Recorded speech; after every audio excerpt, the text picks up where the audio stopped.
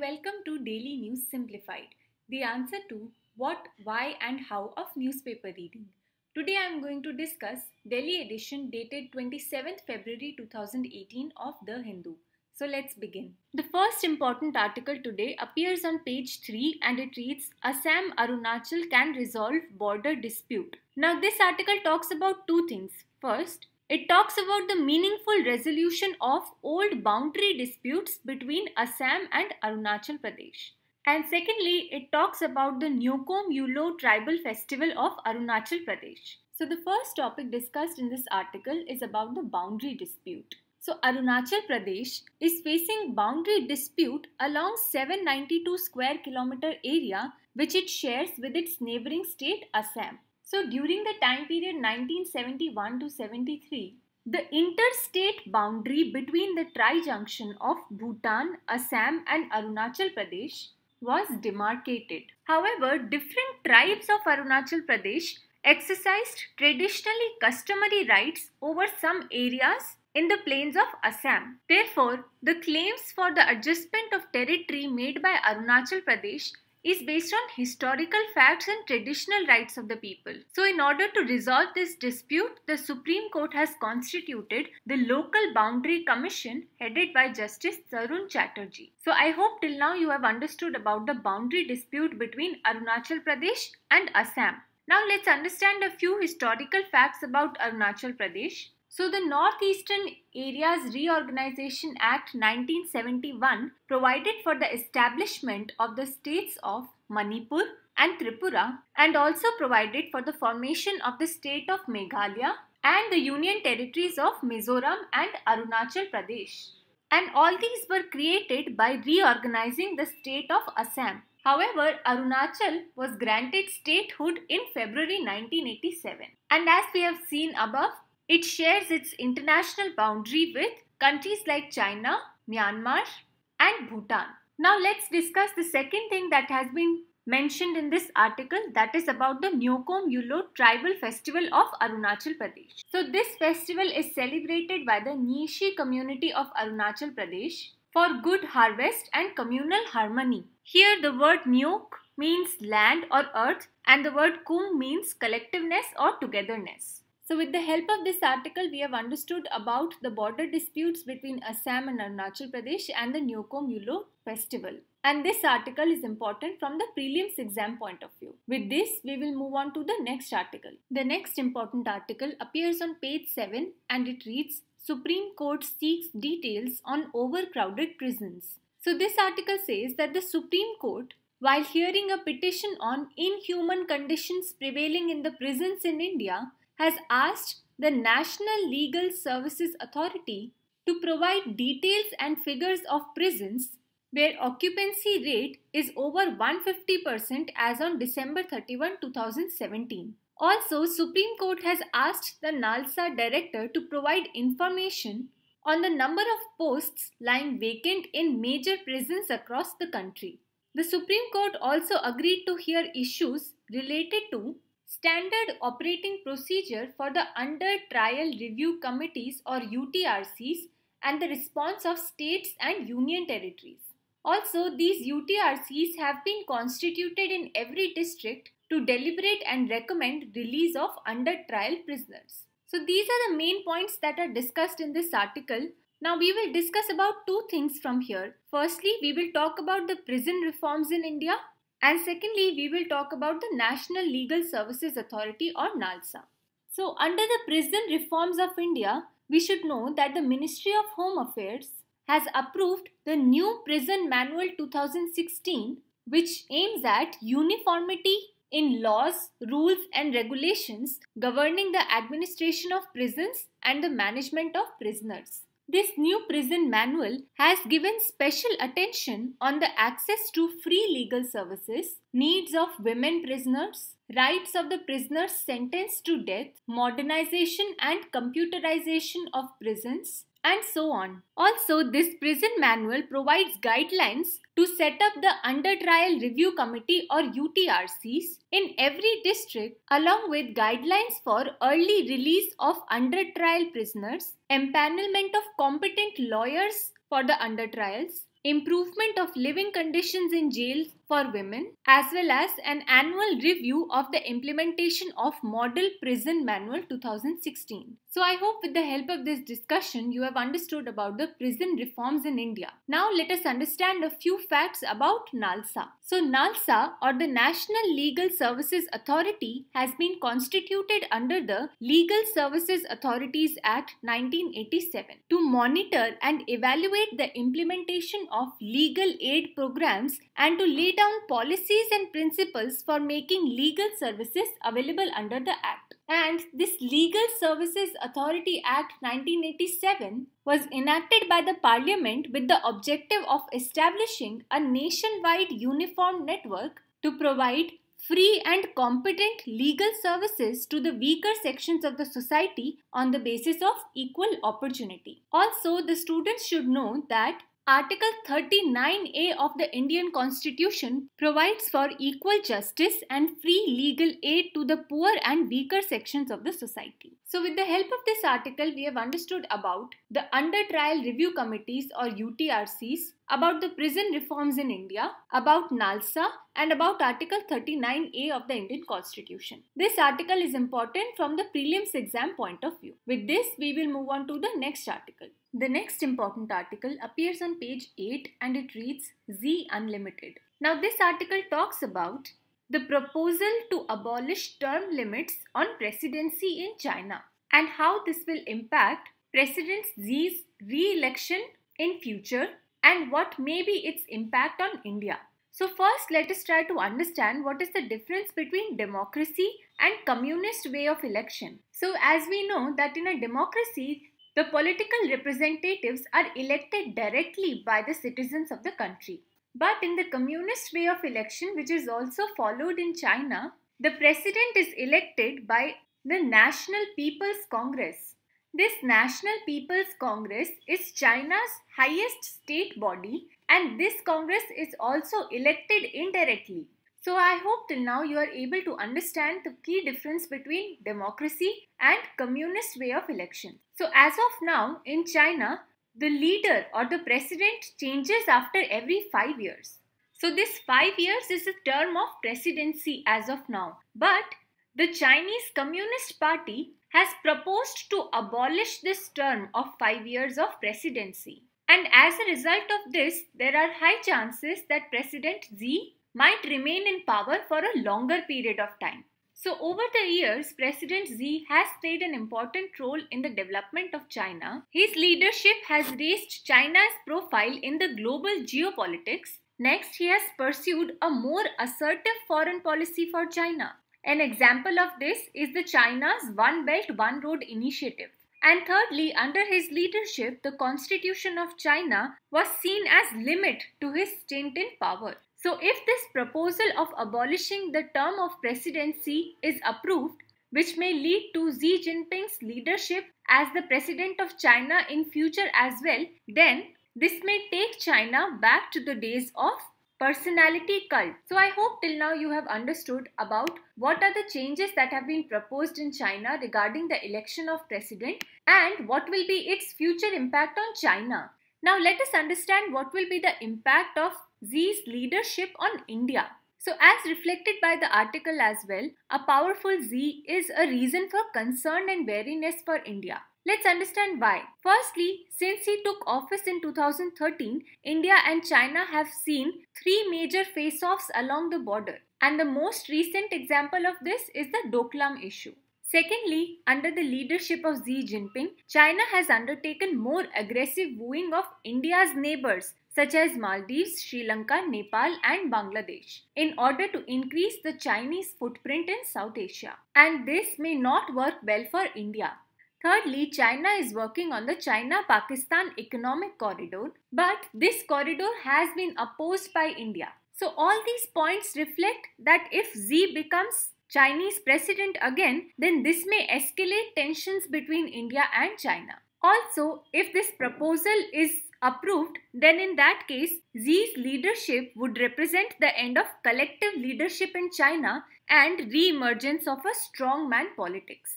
So this proposed change is very critical for both China as well as India. And from the exam point of view, it is very important to understand what will be its impact on India. This article forms a part of international relations in the UPSC exam and the student should read it from the mains exam point of view. With this, we will move on to the next article. The next important article appears on page 9 and it reads Stemming the Tide of Agrarian Distress. Now, this article is pertaining to the agriculture distress or the farm distress in the country and the authors talk about all the positive developments that have been undertaken for the agriculture sector in the Union Budget 2018-19 and at the same time they also discuss what points have been missing in this year's budget pertaining to agriculture. So let's discuss them one by one. So as you all must be knowing that the first major reform that is announced in this year's union budget is to raise the minimum support price of kharif crops by 50% above the cost of production of those crops. Also, the budget states that this MSP should also be extended to those crops which require an estimation of cost of cultivation and remunerative prices. Now, as we know that till now MSP is provided only for 23 crops. That is, various other crops are still left out of the ambit of MSP. So now with this step, more crops will come under the ambit of MSP based on the estimation of their cost of cultivation. However, there are certain issues associated with this reform according to the authors. The issue is that this MSP, which is calculated by the Commission for Agriculture Costs and Prices or CACP, is calculated using different types of methodologies. However, there is a difference of opinion between the farmers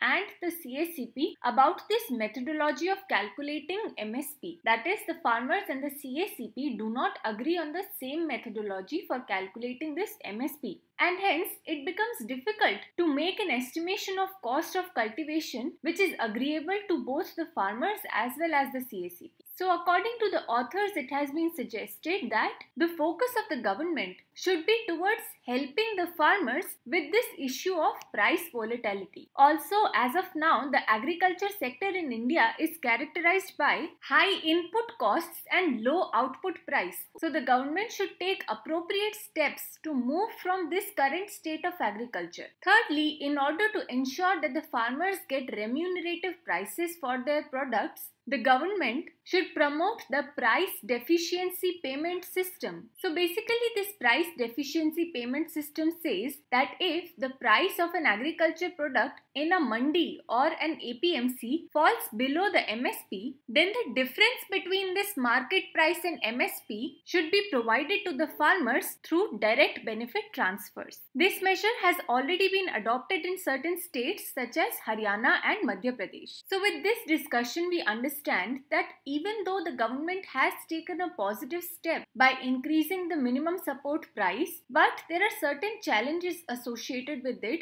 and the government should also address those challenges in order to ensure effective implementation of this reform. The second reform announced in the union budget this year is to develop and upgrade 22,000 rural haats to Grameen agricultural markets. And for this purpose, an agri market infrastructure fund has also been created for developing and upgrading the marketing infrastructure. However, even though this is a step in the positive direction, it will face certain challenges such as most of the farmers in the country, which include small and marginal farmers, sell their produce through village traders and as a result, these small and marginal farmers are exploited by these village traders. So there is a missing link here. The government is trying to develop agricultural markets but the farmers do not use these agricultural markets at present. So the suggestion provided by the authors here is that in order to link the farmers to these Grameen agricultural markets, the government should promote the creation of farmer producer organizations and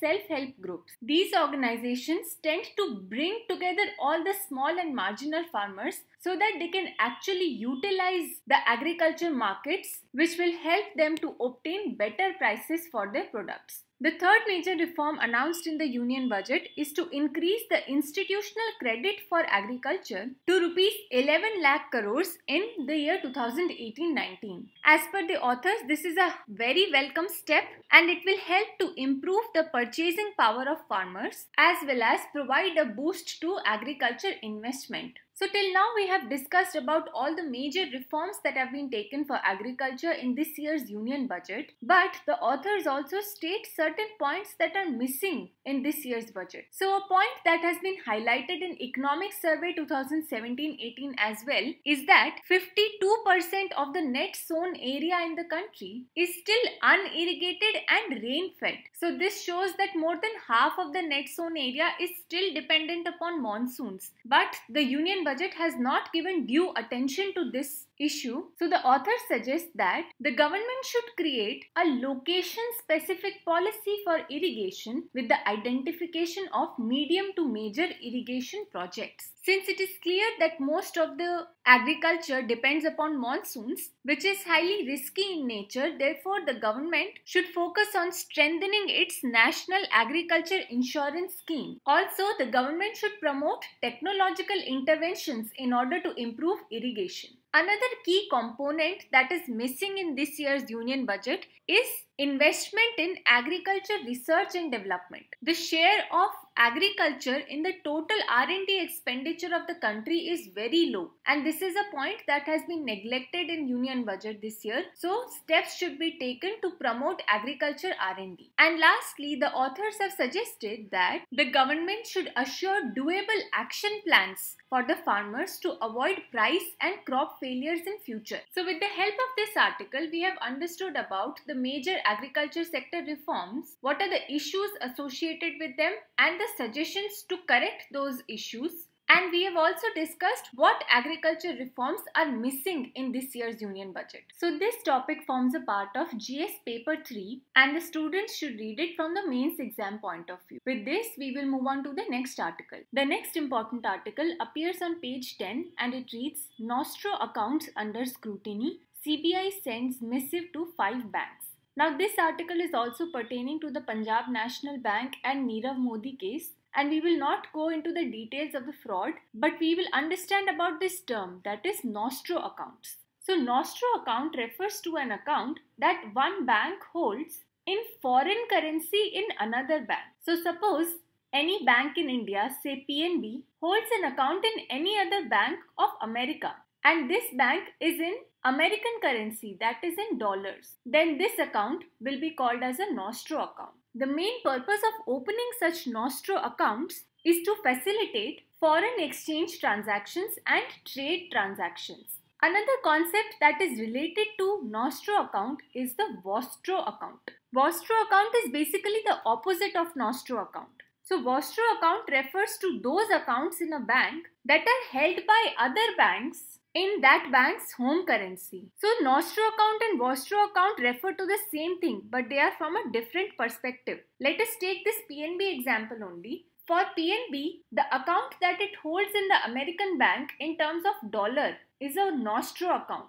But if we look at that American bank's perspective, the account that PNB holds in that American bank in terms of dollars will be a Vostro account for that particular American bank. So for PNB, this account is Nostro and for the American bank, this account is a Vostro account. So I hope you understand about the two terms Nostro and Vostro account and the main difference between these two. And the main purpose of these accounts is to facilitate international transactions and to settle transactions on those accounts that hedge against exchange rate risk. Basically, this means that because Nostro accounts are held in terms of foreign currency. That is why they help in protecting the domestic bank against any exchange rate risk. So since this term is in the news, it is very important for you to understand this from the prelims exam point of view.